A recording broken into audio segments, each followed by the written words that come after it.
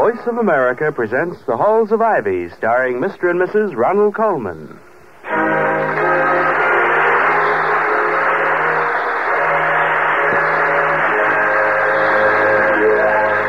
Good evening. This is Ronald Colman. And Benita Colman. Inviting you to join us again on the campus of Ivy College.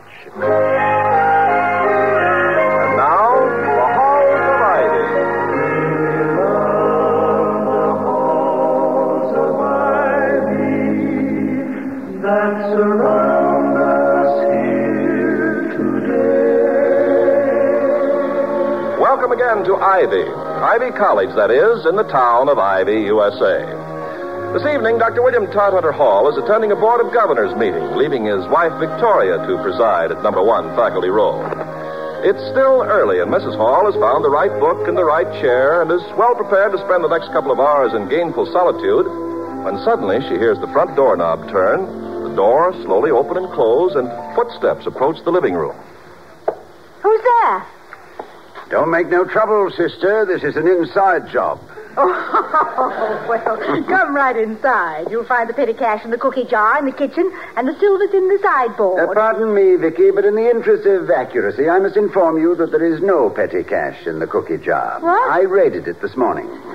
I couldn't bear the pathetic spectacle of Professor Quincannon's three children staring hungrily at a passing ice cream wagon. Well, that was very sweet of you. But what happened tonight? I didn't expect you for at least another hour. And there is no silver in the sideboard either. Mrs. Quincannon borrowed it. Yeah, but what did the Board of It Governors... seems that a caravan of relatives from Smackover, Arkansas, have bivouacked for the night in the professor's backyard. They were putting up the tents as I passed by, and the fragrance of toasted marshmallows over the open campfire was overpowering. Yes, but what did the Board of You Governors... know, be- I am sometimes convinced that the seat of memory lies in the olfactory organs.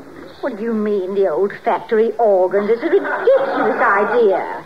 Now, organs in factories, even in old factories, may be good psychologically and increase production, but who Victoria- knows where it will all end? Organs, brass bands, square dancing, people leaving their machines to form quartets in corners. Victoria- The organist saying the can-can in the bottling department. Roll out the battle in the ca- bottle, I mean, in the canning department.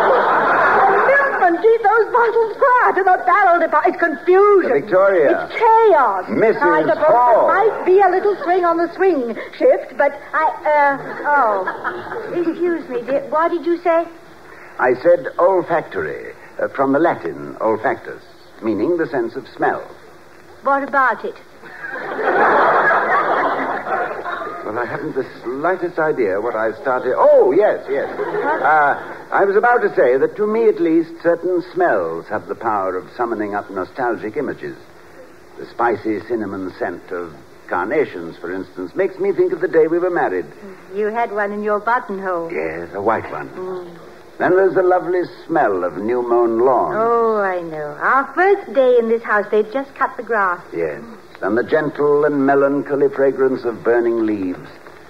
The pre football game bonfires the first autumn you were with me here at Ivy. Hmm. Then there is peppermint. It always reminds me of the little sweet shop in Yorkshire where we took refuge from the rain. Yes. And where you made the remark about Yorkshire pudding, the triumph of mind over batter. Yes. I- Toddy, do all these fragrances remind you of something we did together? You know, it hadn't occurred to me, but I believe they do. Good heavens, it's as if I'd been born the day we met, with no previous existence. I must have spent my youth with a perpetual head cold. Yeah. Well, now that you've recovered, tell me what happened at the board meeting tonight, which brought you home so early and so chipperly. Mr. Wellman's out of town, in Chicago on business. So the agenda was greatly expedited by his absence, and the motion for adjournment was reached in record breaking time. But you know, we all missed Mr. Wellman. Now, that breaks another record. Yes, he's been gone almost a week, and he hasn't telephoned once to ask me what I'm doing, why I am doing it, and please stop immediately. well, this is out of character for Mr. Wellman. It mystifies me. Although I suppose I. Telephone. It's probably the Quincannons wanting to know if they can borrow a sleeping bag. Do we have one? Well, I don't think so, but if we did, they'd be welcome to it. My policy is to let sleeping bags lie. Well, ask a peculiar question and get an exotic answer, I always say. Um, uh, let, let me lift the receiver, dear. You've been working hard all day. I have? Oh, haven't you? No. Oh, good. Save your strength. We have a chess game to finish tonight. Dr. Hall speaking. I know, I know, Dr. Hall. This is Clarence Wellman. Why, hello, Mr. Wellman. You were supposed to have a board meeting tonight. Why didn't you? Well, we did have a board meeting tonight. Well, how could you? I called the board office, nobody answered. And if you did, what'd you do? You threw too early. Well, we disposed of all the business on the agenda. Oh, you did? Uh, what'd you do about the vacant post in the psychology department? The board agreed with your proposal that we leave it unfilled for the time being, Mr. Wellman. My proposal? When did I ever? I never. Oh, yes. I remember. I did. But now I don't.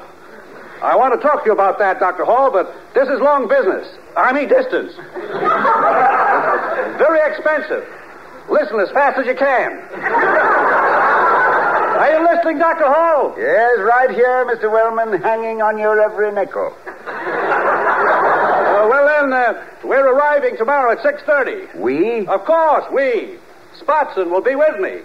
What will be with you? Spatzen, Spatzen, Dr. Oscar Spatzen. What do you think of that?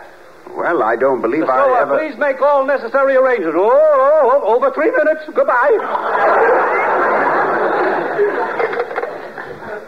Um, uh, Vicky, is there something I should know about a certain Spatzen? Of course. It's a German pancake we used to eat at that dreamy place on 14th. Why? Is Mr. Well- Wellman going into the pancake business? You must have heard they have a rapid turnover.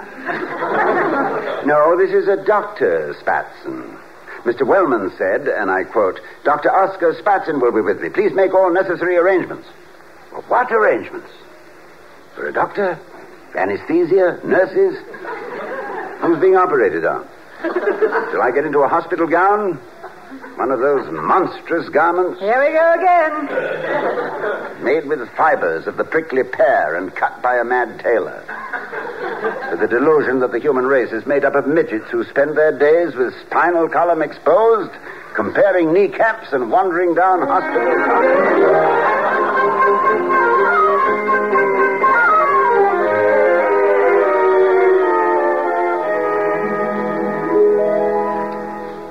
And uh, and what do you what did you think of Doctor Spatzen, Mr. Merriweather? Uh, sort of what? Cute.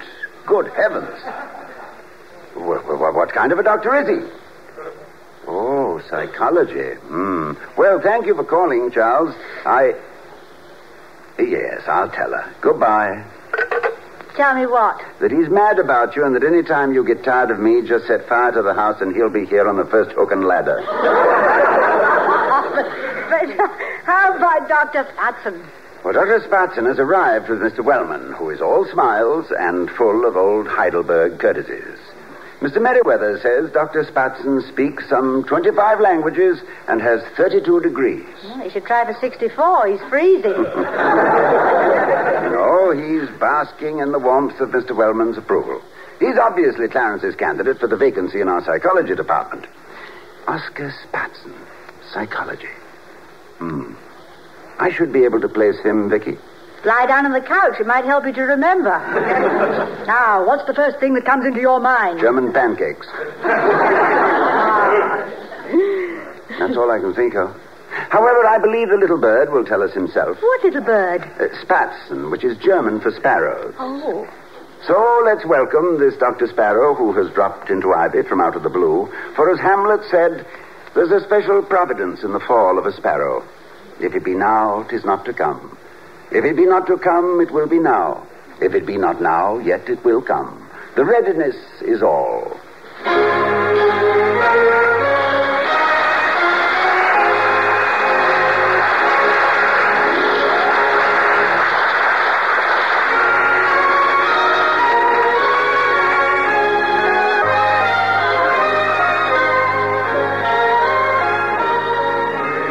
Voice of America is bringing you this rebroadcast presentation of The Halls of Ivy, starring Mr. and Mrs. Ronald Colman.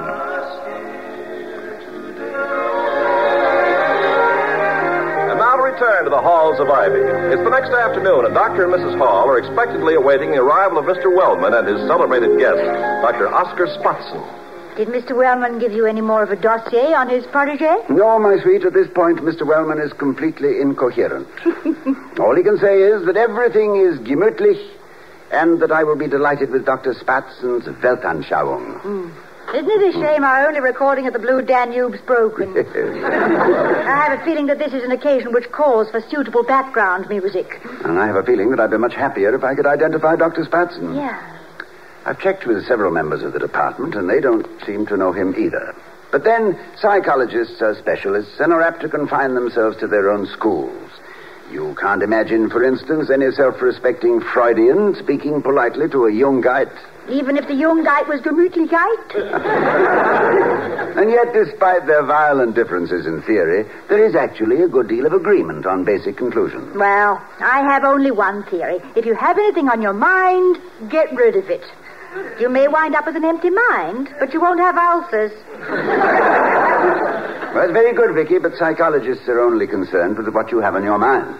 Well, how do they know what I have in my mind? Well, you tell them. Well, how can I tell them if I don't know? But you do know. You just don't know you know. Yeah, But if I don't know I know, how can I get them to tell me? That's psychology. I, I'm afraid I'd be a very dull subject for a psychologist. Every time I lie down on the couch, I fall asleep.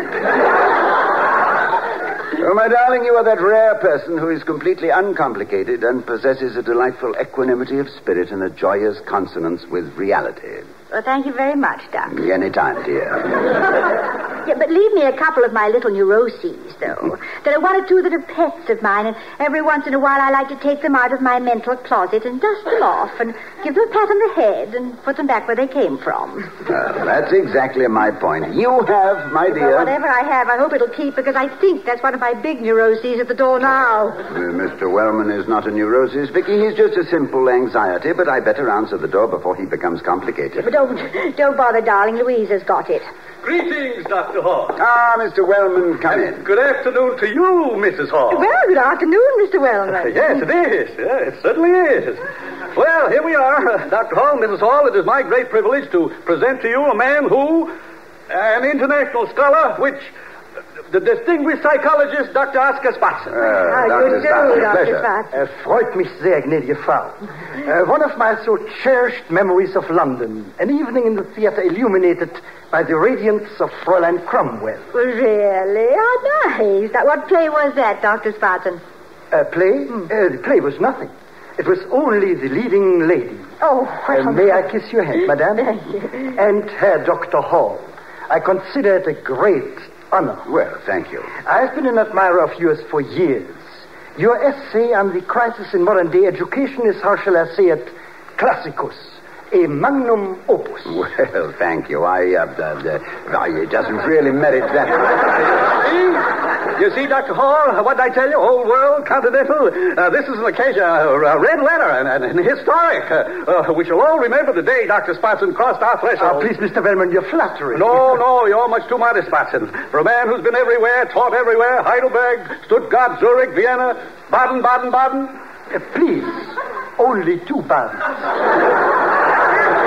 Baden, Baden. Well, I, I thought that was a health resort, a spa. Yes, and it would be a fine location for a psychologist. Ja, uh, we had a clinic there. Kratzig, Zettenzauer und Spatzen.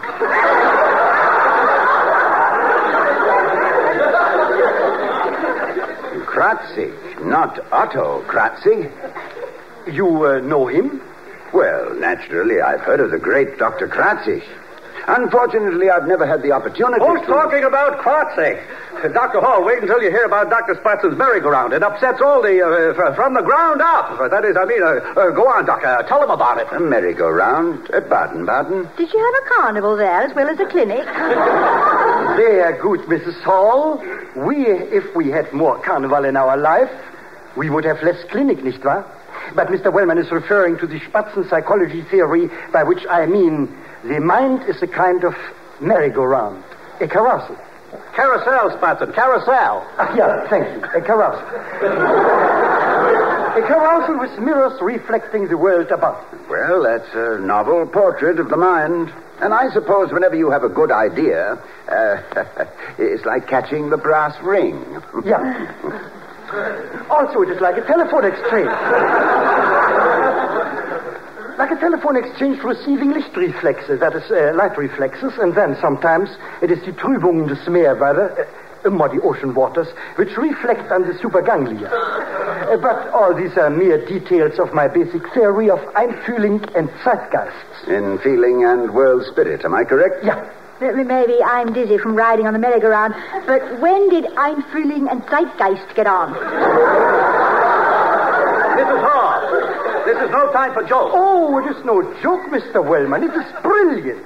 Simply brilliant. The carousal must stop for the Einfühling, or we have no Zeitgeist. As we say in Latin, vobistulis, vobistular. Ja, ja. Wo bist du, Liz? Wo bist du, Lam? My very words, but that's all right. I was through with them anyway. hmm. Uh, well, die Umhüllungstrikot Cerebrospinalflüssigkeit in every living marine culture is sometimes mixed with microscopic exercitio spiritualia militaria, which layman simply calls a headache. Nothing that any silly aspirin couldn't handle. Yeah. Magna est veritas et prevalebit. Or as the French put it, onis waci malipens, or in Old Greek, homeda rais anthropos ou paidoitai. Well, the Greeks seem to have had more than one word for it, whatever it is. I suppose a rough translation of that phrase would be that unless a man has been pushed around a bit, he is not educated. Am I right, Doctor? Uh, yeah, but uh, I did not realize you were a Greek scholar, Dr. Hall. Oh, I'm I'm not a qualified polylinguist such as yourself, but I have I picked up a phrase or two here Oh, and there. excuse me, gentlemen. Hello? Oh, yes, yes, he's here. It's for you, Mr. Wellman. Uh, uh, thank you. Yes, yes, what is it? Well, I, I thought I told you. Well, he did? Well, tell him I'll be right over. Oh, you have to leave, Mr. Wellman? Uh, yes, the way they depend on me the minute I step out, everything goes. Well, if, if you'll all excuse I me. will come with you, Mr. Uh, Wellman. no, no, you stay here. Talk. Get acquainted. Uh, Dr. Hall, will you see me to the door? Why, of course, Mr. Wellman. Um, auf Wiedersehen, Peter. I mean... Auf Wiedersehen, Oscar. And, uh, and, uh, goodbye, Mrs. Hall. Goodbye, Mr. Wellman. And don't you worry about Dr. Stratton. We'll take good care of him for you. Impressive, isn't he, Dr. Hall? Well, Mr. Wellman, I must confess. Sheer luck. I ran into him in Chicago. He, he seemed to take a liking to me right away. Uh, now, this is what I suggest you do. Tell him about the opening in the psychology department next year. But don't offer him too much money. Charm him, Dr. Hall. Charm him. A lot depends on how you handle it. Oh, yes, Mr. Wellman. A lot depends on how I handle him.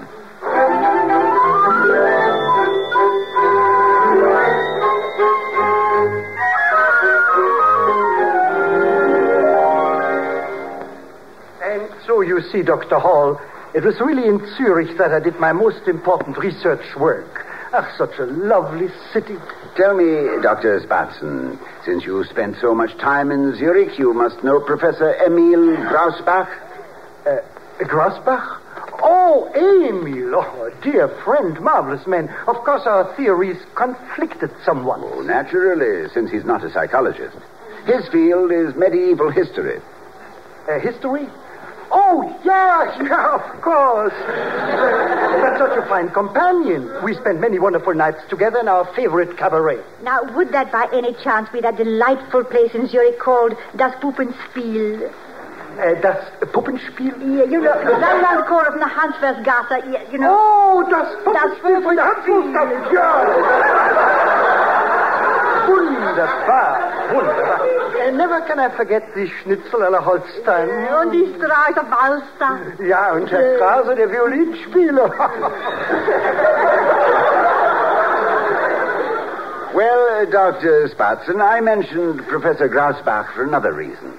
After all, wasn't he the brother-in-law of your associate, Otto Kratzig? uh, was he?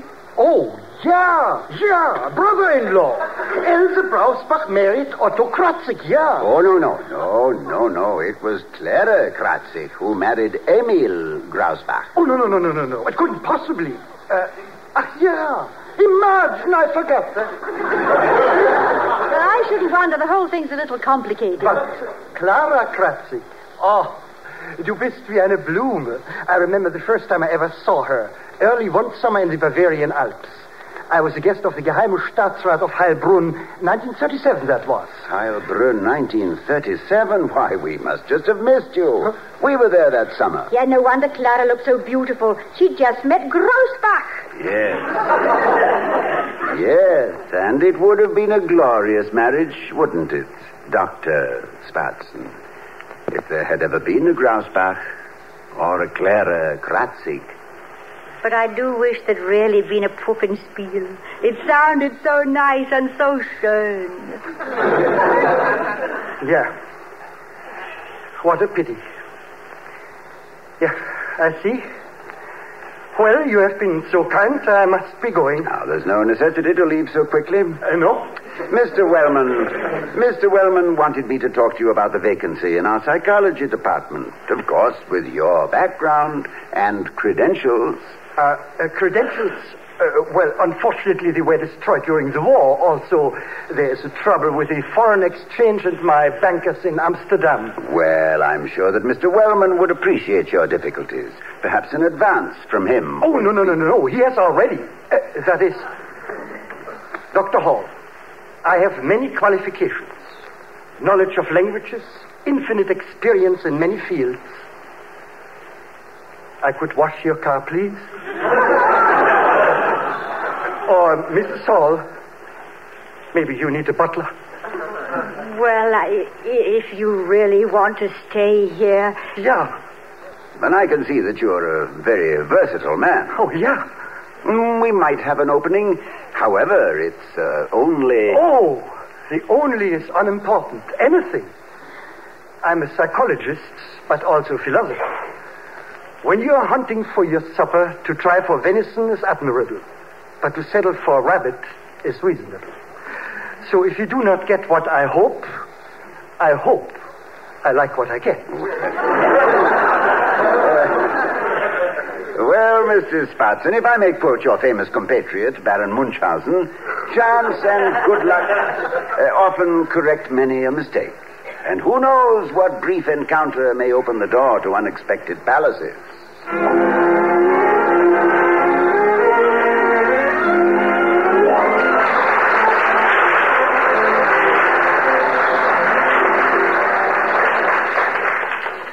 got back as fast as I could, Dr. Hall.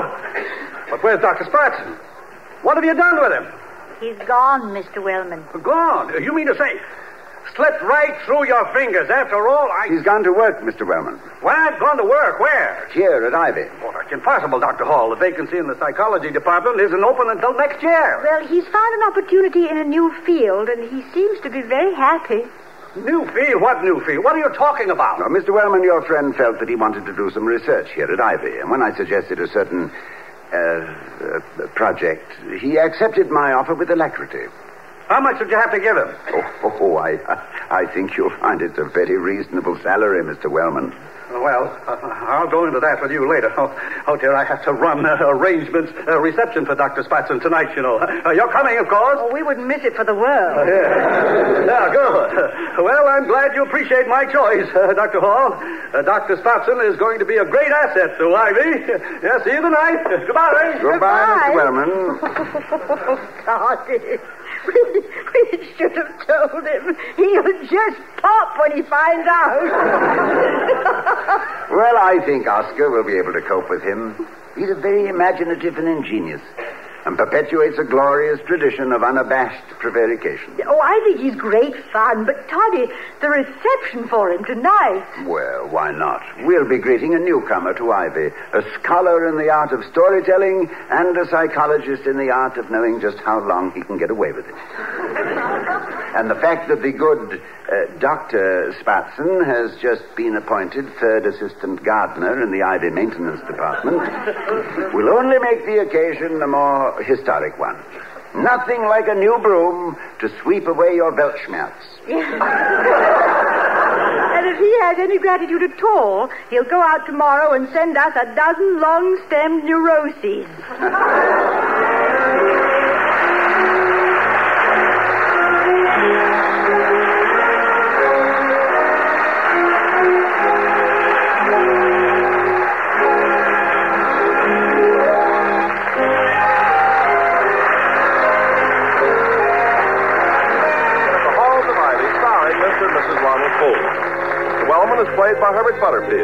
Spatzen was Fritz Feld. Tonight's script was written by Barbara and Milton Merlin and Don Quinn. Music was composed and conducted by Henry Russell. Ken Carpenter speaking. Oh, we love the halls of ivy that surround